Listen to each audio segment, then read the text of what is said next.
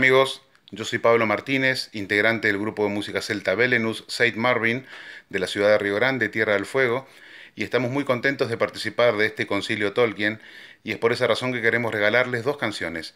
La primera titulada Concerning Hobbit y la segunda titulada Medieval Bagpipe. Saludos.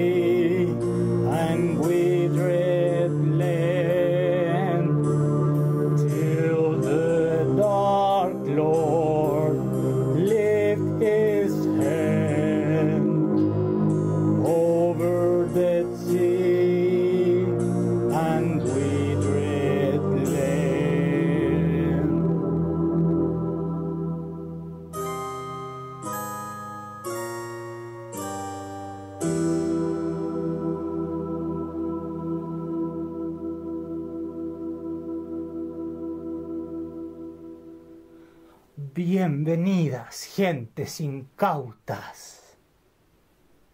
Aló. Palantir.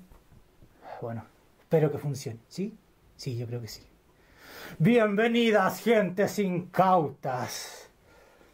Seré vuestro anfitrión. Soy tumulario y este es mi túmulo. Y ustedes serán mis prisioneros. Caeréis bajo mi hechizo y dormiréis para siempre. Sobre piedra y enjollados. Les tengo una sorpresa, sí. no saben ni se imaginan qué llegó a mis manos. Una pequeña sorpresa.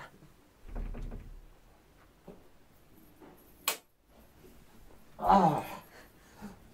Ah. Para acá. ¿La ven? Una elfa.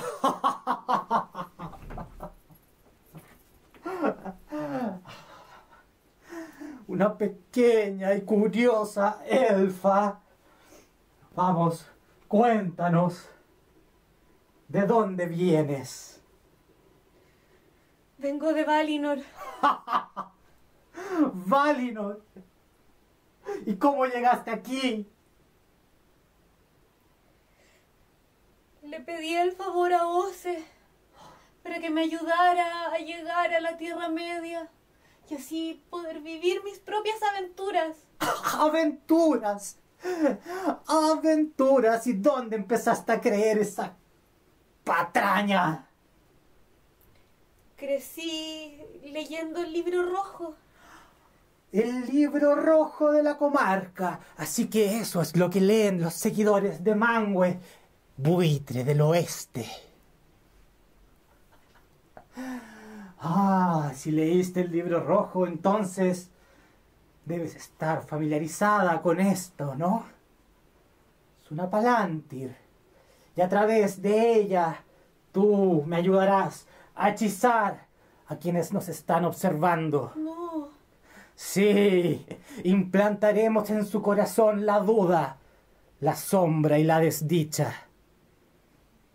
Dime el último rey de los Noldor. Gilgalad. Correcto, pequeña elfa. Cantaremos su elegía No, y los llenaremos de tinieblas. Gilgalad fue un alto rey y por él lamentos se cantan. El último reino elfo, Noldo en ley, entre las montañas y el ancho mar. Largo y punzante su acero, su escudo siempre brillante, y los incontables astros del cielo en su escudo y estandarte, para lo que le sirvió. Canta, elfa.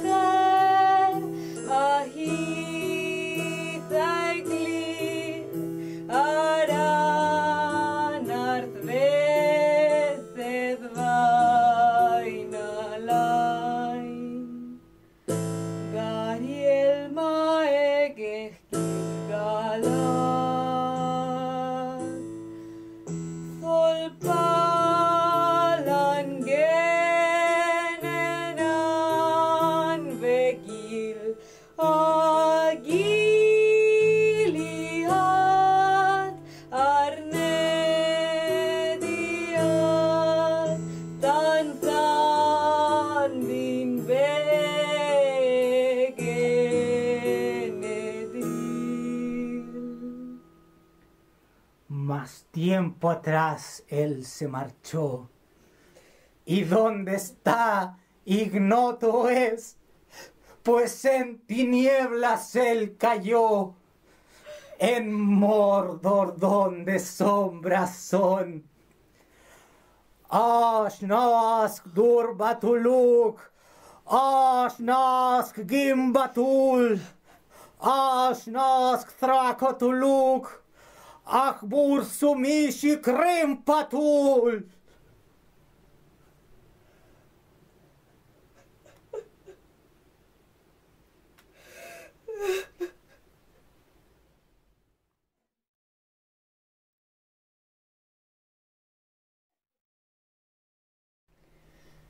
Daniona no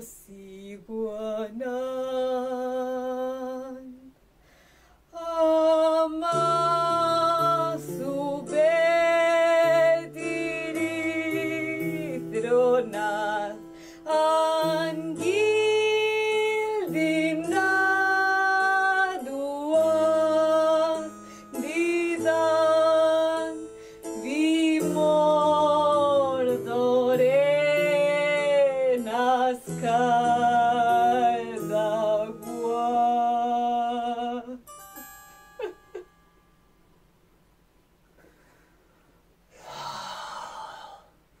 Puedo sentir el pesar en tu corazón y también en el suyo.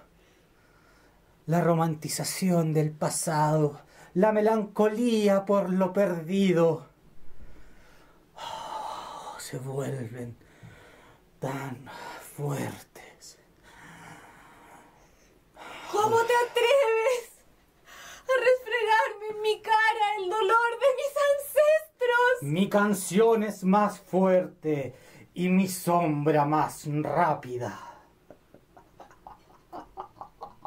¿Qué haré?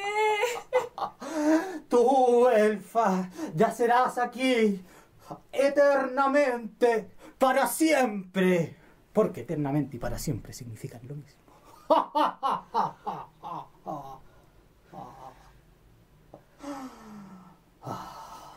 Oh, Tom Bombadil. No, Oh, no, Tom Bombadiló. no, por favor, no, no digas su nombre. No, no menciones. Viejo Tom. ¿Por qué? Porque es, es hacer trampa, pues estamos en mi casa, te, te preparo una canción, eh, les hago todo un show y ¿Cómo era? No, por favor, ni se te ocurra decir sus palabras. Te lo ordeno con mi poder de tumulario. ¡Fuera, viejo tumulario! ¡Desaparece en luz solar! Encógete como la niebla.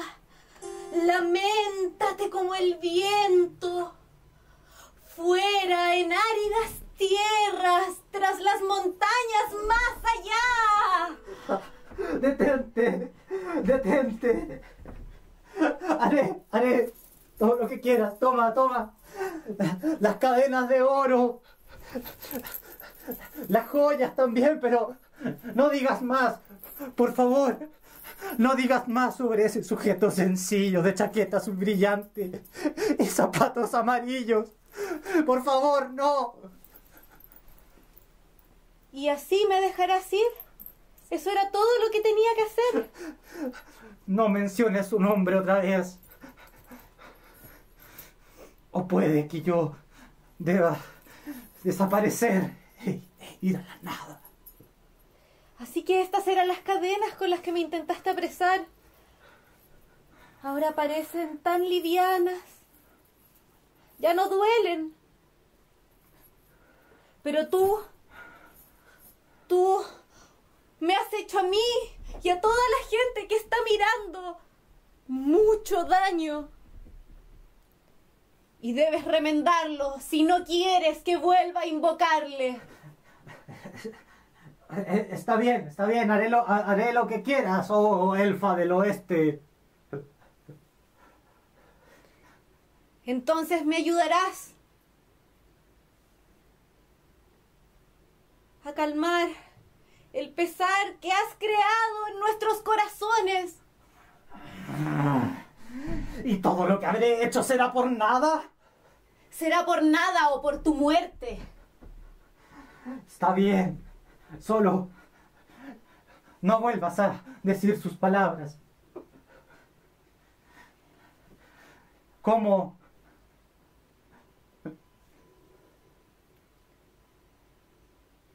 Con una canción de cuna. Una canción de cuna aliviará el pesar de nuestros corazones. Es más, una canción de cuna hobbit.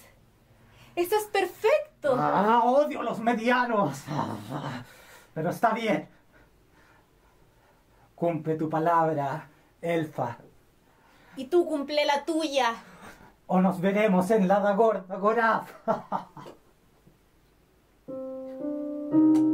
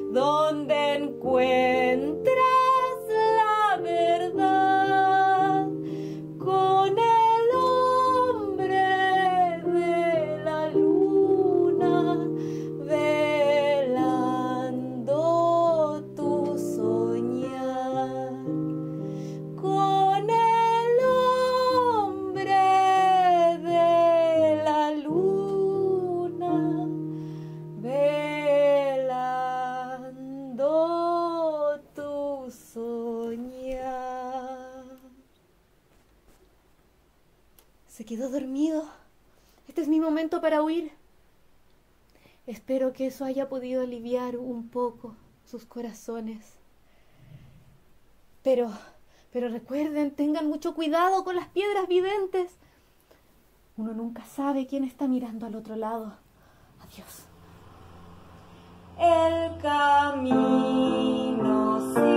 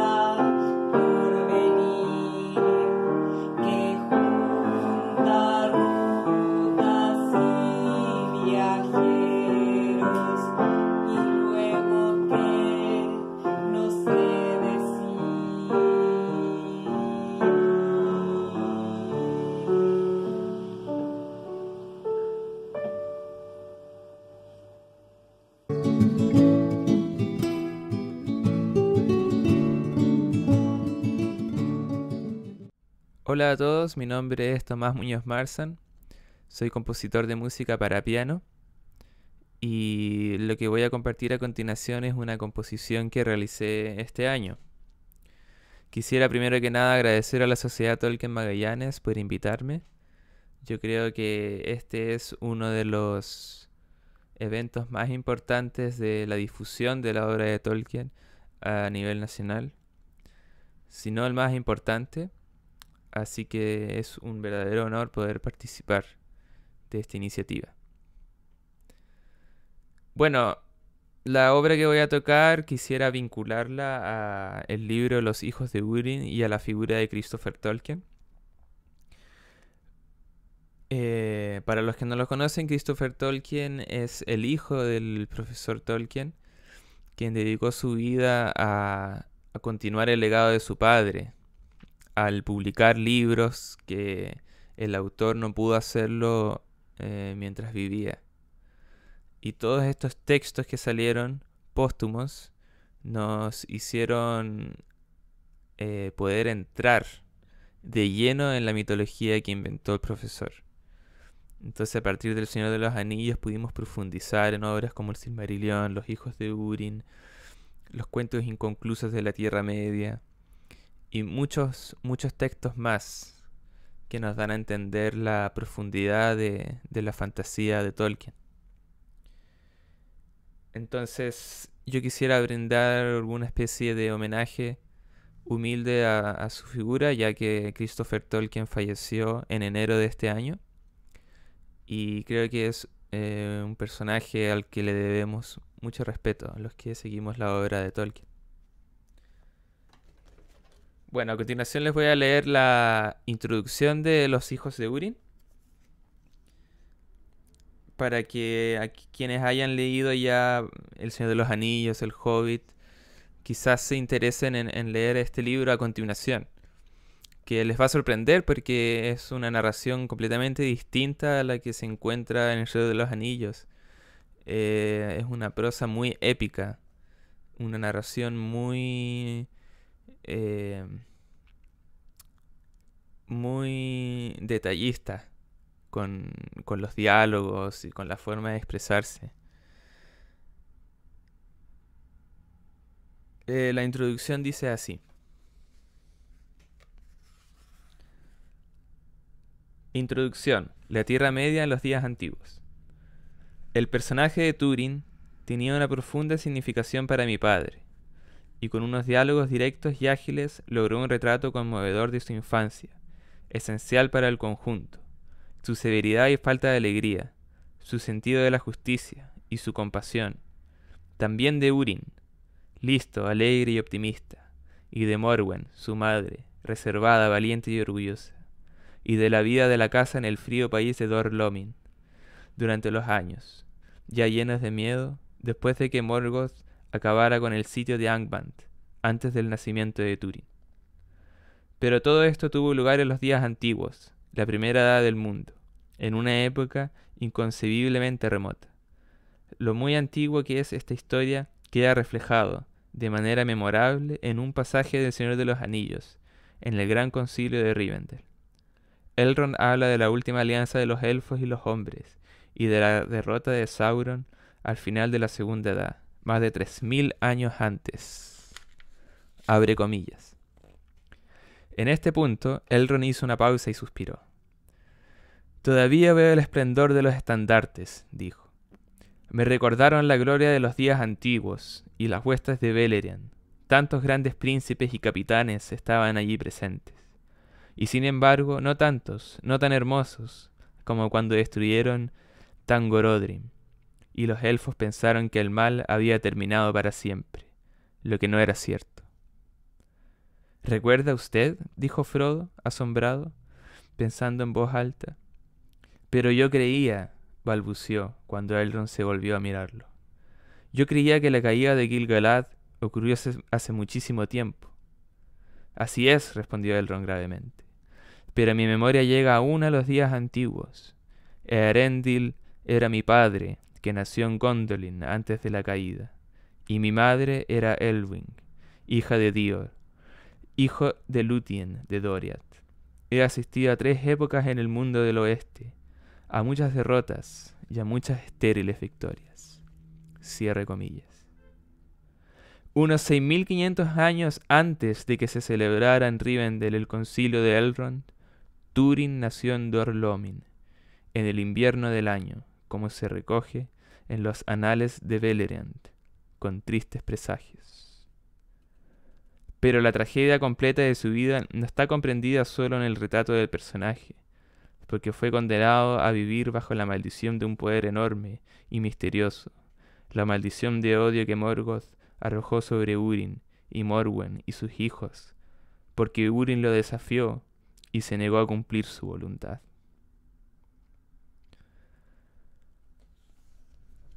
Esa es una pequeña introducción de lo que se trata este libro. Seis mil años antes de, de los aconteceres de El Señor de los Anillos. Y es un texto escrito por J.R.R. Tolkien, pero editado por Christopher Tolkien, que les recomiendo tremendamente. Entonces a mí cuando me pidieron participar de este concilio, el primer libro que se me vino a la mente fue este. Y quiero que vinculen esta composición musical con las historias que podrían llegar a encontrar en este libro.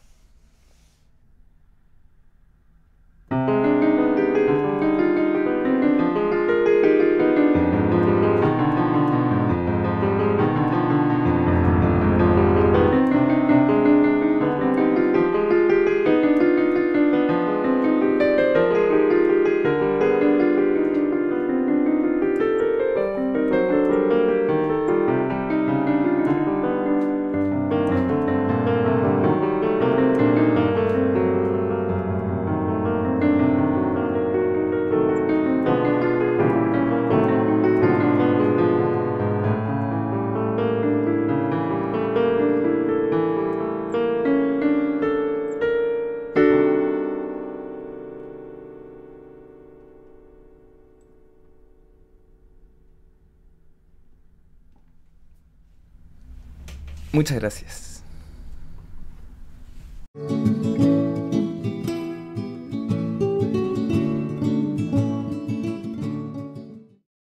Hola a todos, me llamo Marcelo Pinto y hoy en Recomiendo Tolkien les hablaré sobre un libro no muy conocido de John Ronald Reuel Tolkien llamado El Señor Bliss. ¿Pensabas que diría El Señor de los Anillos? Pues ahora que he captado tu atención, déjame hablarte un poco acerca de esta obra, no tan conocida, pero que sin duda es entretenida y está llena de color, tanto así como para alegrarle el día a alguien.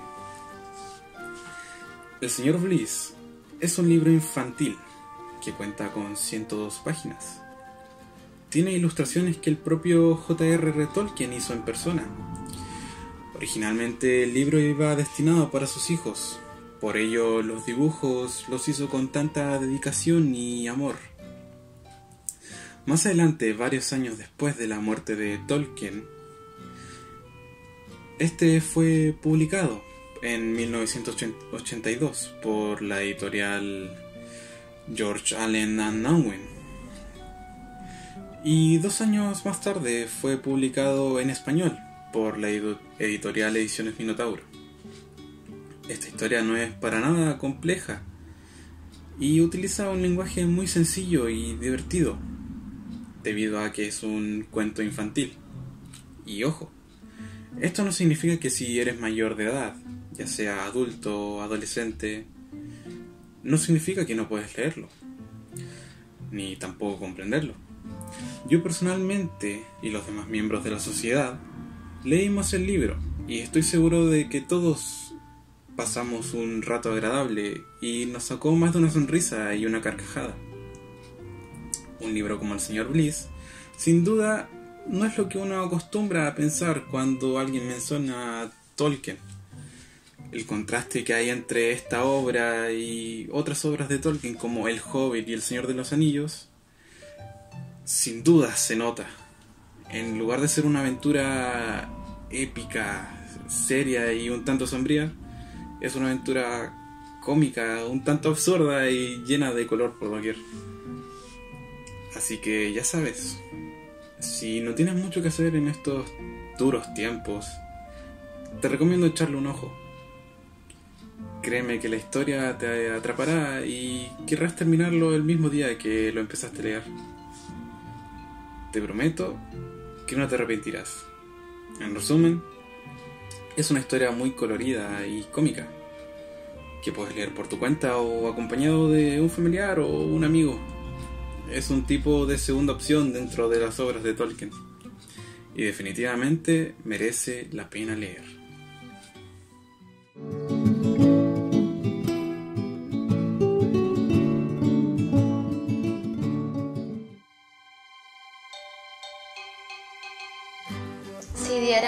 A la comida la alegría Y a las canciones, más valor que al oro.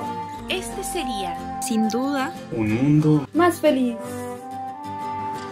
Sociedad, Tolkien. Magallanes. Gracias por acompañarnos en el sexto concilio Tolkien.